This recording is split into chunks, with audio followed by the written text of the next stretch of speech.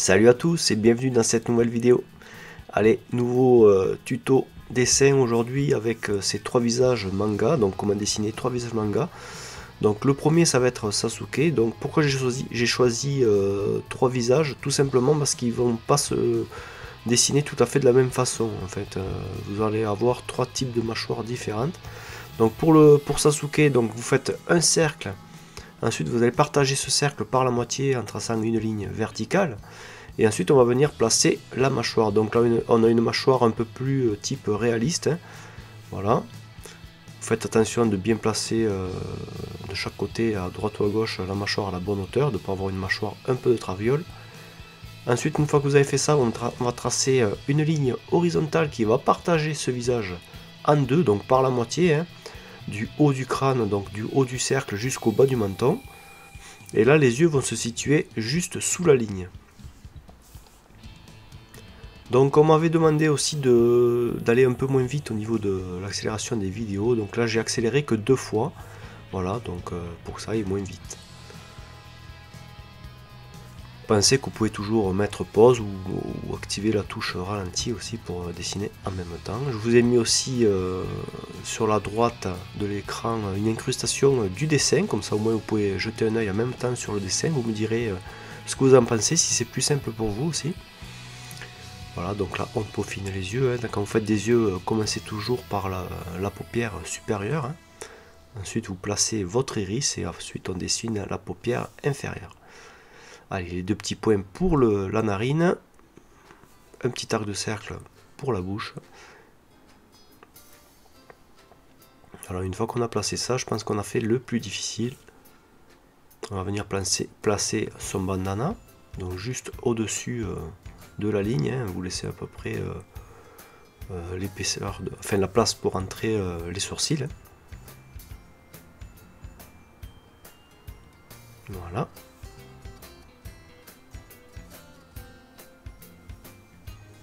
Donc là dans ces vidéos en fait je vais euh, vous montrer donc euh, comment dessiner trois types de visages manga. Ensuite j'ancrerai euh, ces trois dessins. Donc là je, vais accélérer un peu plus hein, pour l'ancrage. C'est pas un tuto pour l'ancrage, on verra ça plus tard. Donc voilà. Donc pour ancrer j'utiliserai aussi la plume et de l'encre de Chine. Donc le bandana, Ensuite, on va faire le petit symbole au centre.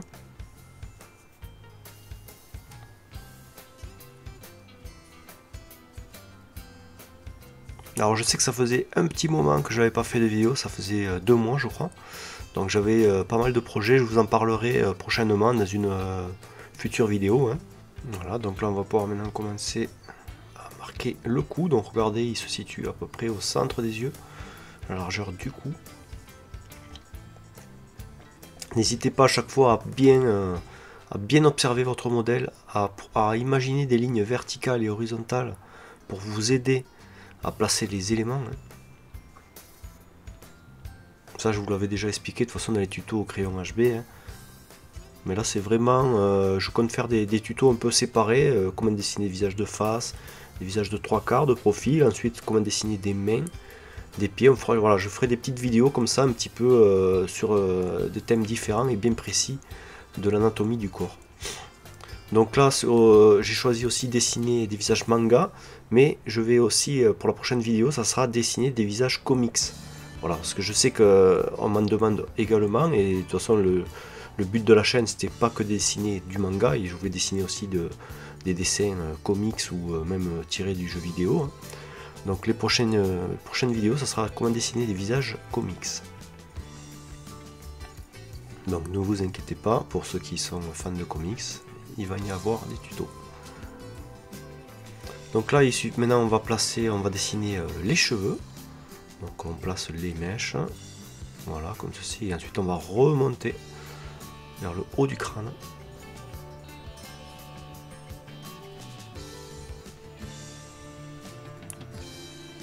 Alors essayez de prendre cette habitude, de, quand vous dessinez un personnage, du moins un visage hein, pour cette fois-ci, de dessiner des formes de base. Ça va vous aider euh, déjà à mieux, à mieux visualiser euh, votre squelette hein, dans votre tête Et pour placer les éléments au niveau des, yeux, du nez, la bouche et les oreilles, ce sera plus simple pour vous. Et quand vous dessinerez d'imagination, ça sera également plus facile que de dessiner bêtement, euh, de prendre un modèle de dessiner bêtement, de reproduire bêtement ce qu'on voit à l'écran. Il faut avant tout réfléchir en fait comment est formé le dessin que vous êtes en train de reproduire. Très important.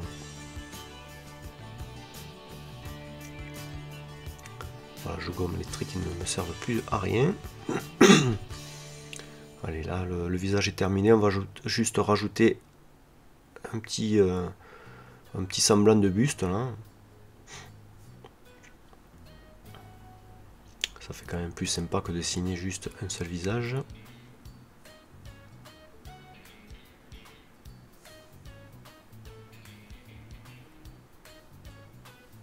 Et puis après on passe à Gohan.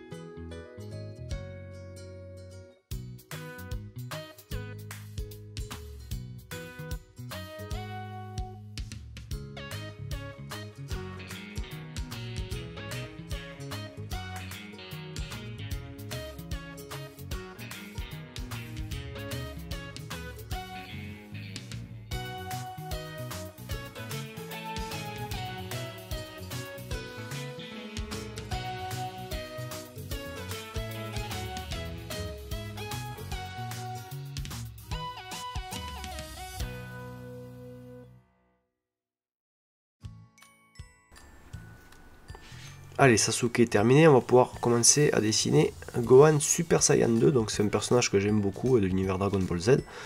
Donc toujours pareil, on va commencer à faire un cercle, on va partager ce cercle par la moitié avec une ligne verticale, et ensuite on va placer la mâchoire, donc comme avec Sasuke, sauf que cette fois-ci la mâchoire sera beaucoup plus petite hein, en hauteur, hein, entre le bas du cercle et le bas du menton. Donc faites attention à l'inclinaison de la mâchoire également. Ensuite, on va placer la ligne pour nous aider à placer les yeux. Et là aussi, ça va être différent. Donc on va placer la ligne un peu plus basse. Cette fois-ci, elle ne sera pas à la moitié du, visage. Et là, on ne dessinera pas les yeux en dessous de cette ligne. On va d'abord placer les sourcils à cet endroit-là, qui vont être juste au-dessus de cette ligne.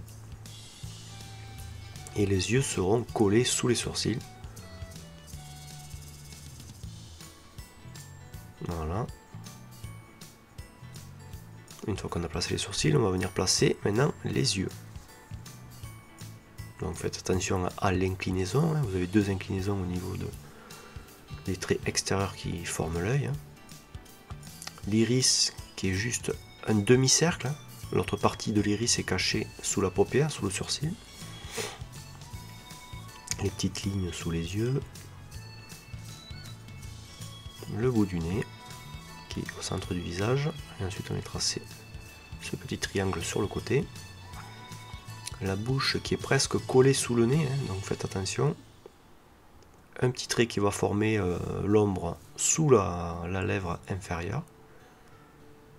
Je rectifie un petit peu le son œil droit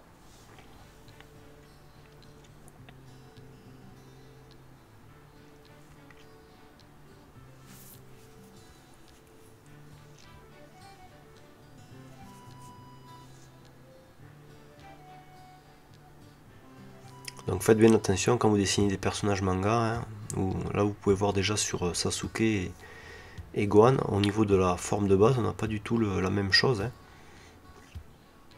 On a toujours le cercle, ça c'est forcé. Mais après, au niveau de, de, la mâchoire et du placement de la ligne pour les yeux, il faut faire attention. Allez, les cartilages dans l'oreille.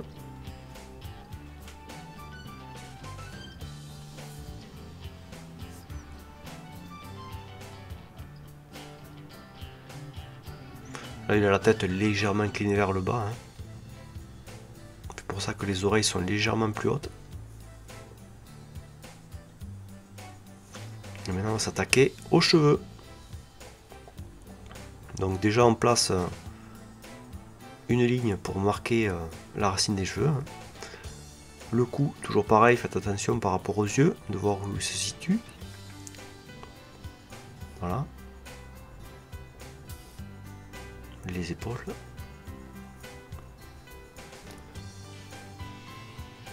Donc le visage est fait, on va s'attaquer maintenant aux cheveux.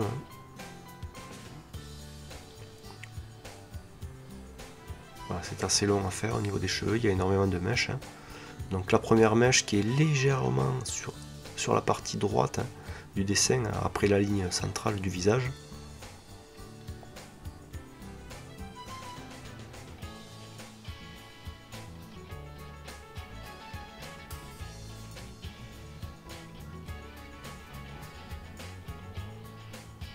Et ensuite il va falloir passer toutes les mèches qui vont vers le haut.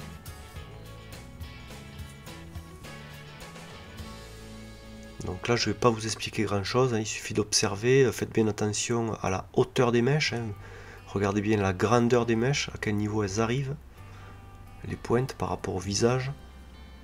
N'hésitez pas à prolonger dans votre tête une ligne verticale pour placer euh, la pointe de votre mèche, pour savoir où elle arrive.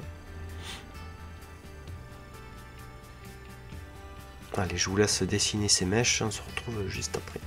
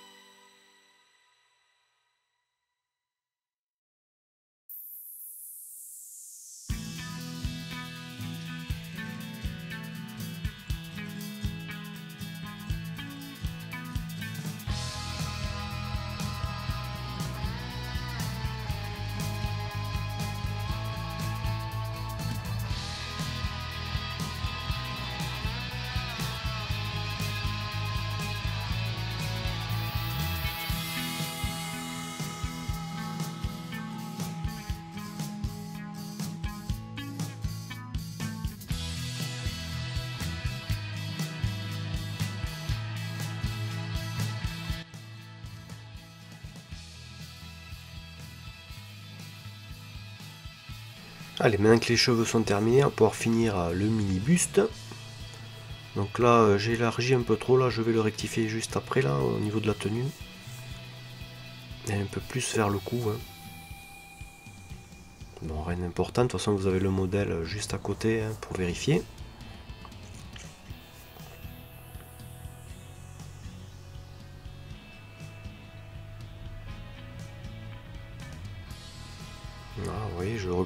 aux oreilles où se situe la tenue. Et je modifie tout ça.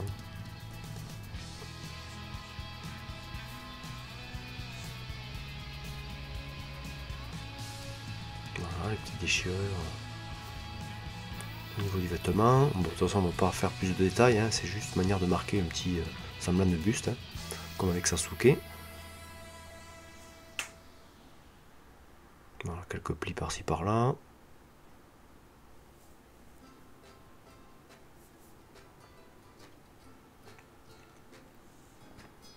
Allez, je gomme les traits de construction un petit peu.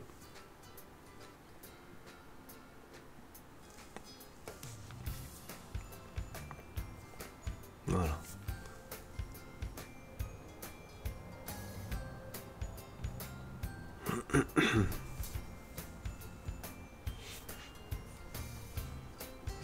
Il y a l'oreille qui me chiffonne un petit peu, je vais la redescendre un petit peu là. Bon, rien d'important, hein, mais bon.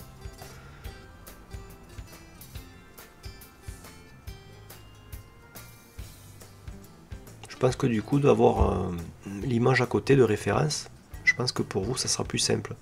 vous me direz ce que vous en pensez. Il est vrai que c'est plus facile de, mettre une image de référence quand c'est un personnage, juste un visage. Personnage en entier serait petit. il faut que j'essaierai peut-être, mais bon, on verra. On verra ce que ça donnera.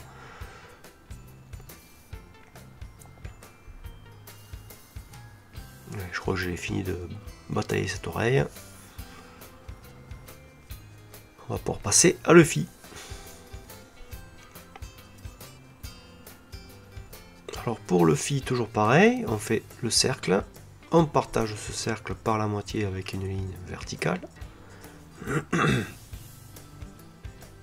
Et là, on va venir placer aussi la mâchoire qui est encore un peu plus petite, un peu plus aplatie. Cette fois-ci, par contre, on va placer euh, la ligne horizontale. J'attends de finir ça. Donc la ligne horizontale, elle va être au milieu du visage, voilà, comme ceci. Et les yeux se trouveront dessous. Donc pour m'aider à placer les yeux, je vais d'abord tracer en fait des, petits cercles. Pensez qu'entre les deux yeux, il faut qu'il y ait un autre œil qui rentre. Donc c'est comme si vous avez trois yeux. Je vais le mesurer pour vous montrer. Du coup, je vais agrandir mes cercles qui sont un peu trop petits. Voyez, vous mesurez votre œil, vous regardez si ça rentre entre les deux yeux, si vous avez un autre œil qui rentre. Et dès que ça rentre, c'est que c'est bon. Vous avez la bonne dimension au niveau des yeux. Une fois que ça c'est fait, la bouche va se situer en dessous du cercle, au bas du cercle. Ensuite, on va placer le nez, qui est assez haut. Hein. La narine, clac.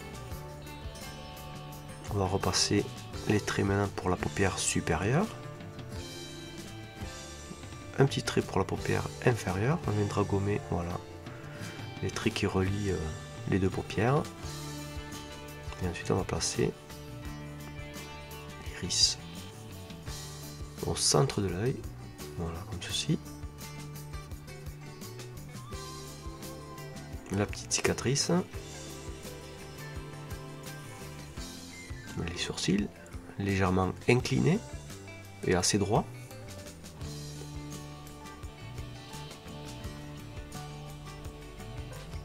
Alors les oreilles c'est pareil, ils vont se situer euh, en dessous de cette ligne et jusqu'au bas de la mâchoire, voilà comme ceci. Allez le cartilage,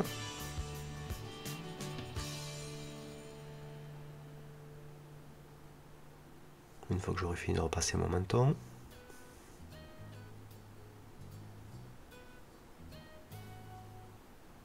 Donc là pareil pour le coup. Hein. Moi je l'ai fait peut-être un peu trop large, il faudrait que je le rétrécisse un petit peu. Donc le fameux cartilage que je parlais tout à l'heure. Donc chaque mangaka, vous pourrez remarquer, ils ont leur, euh, leur style de cartilage.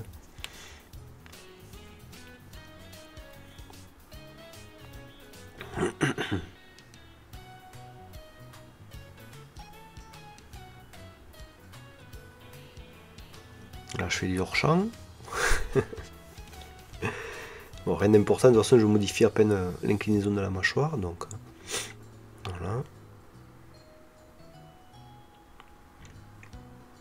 Et on va s'attaquer aux cheveux.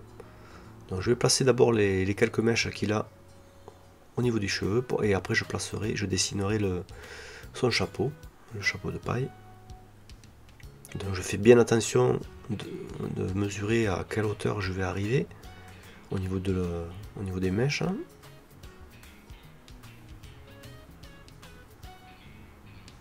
Il a un front assez grand.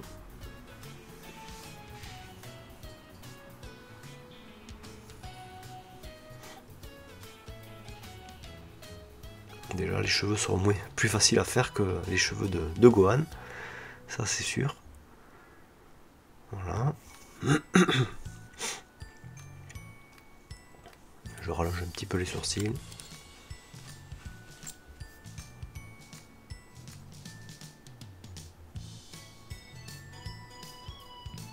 Allez, les petites mèches qui manquent ici. Je commence à tracer un arc de cercle pour faire le départ du, euh, de son chapeau. Voilà, ça va bien descendre vers les cheveux, vers les oreilles, voilà, comme ceci.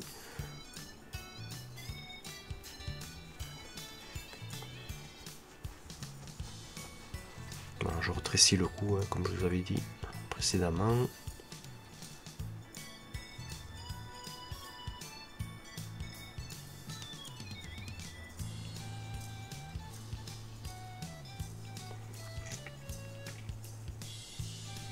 Après, à vous d'essayer avec cette méthode, de prendre un modèle, de choisir votre modèle et d'essayer de le refaire. Essayez de visualiser quelle forme de base va s'adapter au modèle que vous avez choisi. Et après, à vous de jouer, d'essayer de, reproduire euh, votre personnage, le visage de votre personnage préféré par exemple. Là, c'est des bases que je vous mets euh, en vidéo. Après, c'est à vous de, les tester avec d'autres personnages. Hein faut pas en rester juste avec ma vidéo, il faut aller au-delà de ça. Hein. On a chacun euh, un coup de crayon particulier. Voilà, donc après c'est à vous de tester ces astuces.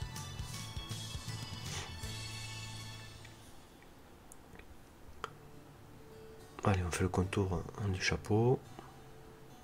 Ensuite, le haut du chapeau.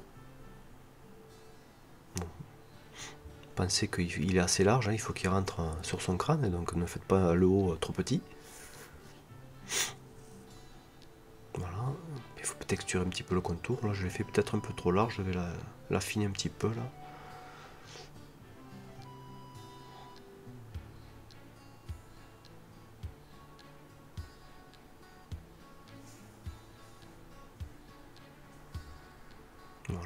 Le un petit peu là.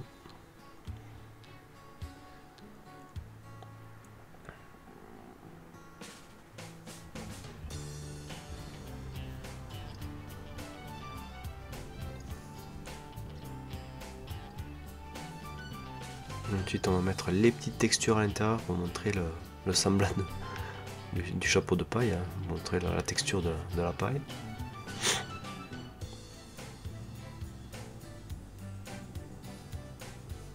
Alors faites attention de suivre l'arrondi du chapeau, hein, la forme du chapeau. Allez, il ne reste que le buste cette fois-ci.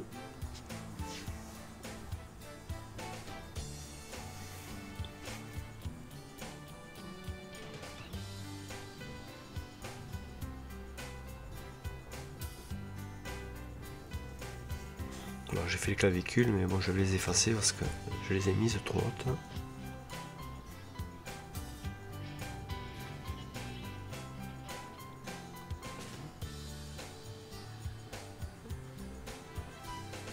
Sa petite veste qui revient sur le devant là. Donc là rien de compliqué, de toute façon on fait que voilà des semblants de bus à chaque fois la petite cicatrice. Donc là je fais d'abord une croix et après je viens texturer autour. Comme ça au moins je suis sûr d'avoir la bonne orientation pour ma cicatrice. Le tissu qui vient par-dessus les épaules, hein. qui est en surépaisseur par rapport à la peau, faut y penser.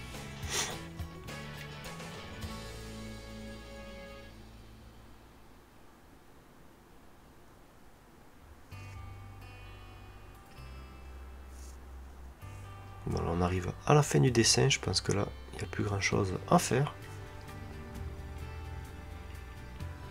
Quelques plis au niveau de là, au niveau du bras. Et le dessin sera terminé. Le numéro 3, voilà. Donc Sasuke, Gohan et Luffy. Les trois visages manga que j'ai choisi pour ce tutoriel. Et on va pouvoir passer à l'ancrage. Donc les voilà, les trois personnages. Donc une fois que vous serez arrivé à cette étape, moi ce que j'ai fait, j'ai pris, euh, vu que je vais ancrer là, j'ai pris ma gomme, euh, ma gomme de pain. Bon, vous avez dû me voir faire ça souvent dans les vidéos. Et j'ai tapoté sur mon crayonné afin d'estomper légèrement les coups de crayon.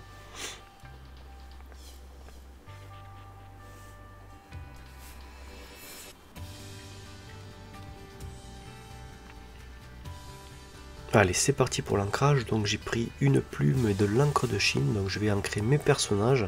Ensuite, je prendrai un petit pinceau pour faire les aplats de noir au niveau des cheveux donc de Sasuke et de Luffy. Donc je ne vais pas commenter euh, ces étapes. De toute façon, sur l'ancrage, j'y reviendrai dans d'autres tutoriels. Donc je vous laisse euh, visionner euh, cette étape et on se retrouve à la fin de la vidéo. Allez, à tout à l'heure.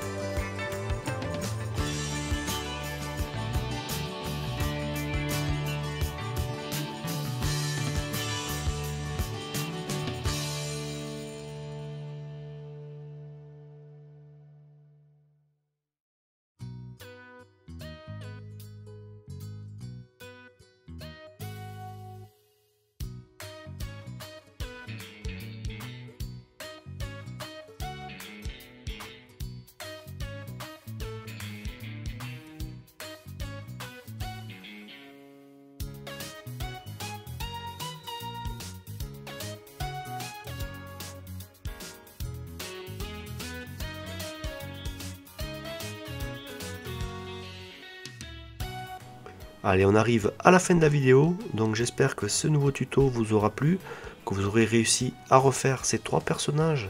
Donc pensez bien à ce qu'on a vu tout le long de la vidéo, hein, sur la création des formes de base au niveau des visages, hein, de réfléchir comment formé un personnage avant de rentrer dans le détail. Donc si la vidéo vous a plu, ben, n'hésitez pas à laisser un commentaire, à mettre un petit pouce bleu, ça aidera à faire connaître la chaîne. Et bien moi je vous dis à la prochaine et que le dessin soit avec vous. Allez bye